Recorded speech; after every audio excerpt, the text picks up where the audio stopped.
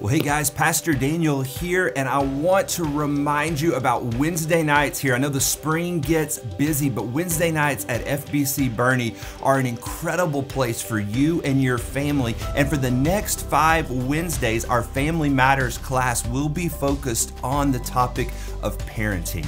So I know some of you guys have been joining us online, watching the recordings of our Wednesday night sessions, but let me encourage you, if possible, join us in person for the next five weeks. We're going to explore what does it mean for me to be a parent? Uh, who are my kids and how has God called me to parent them?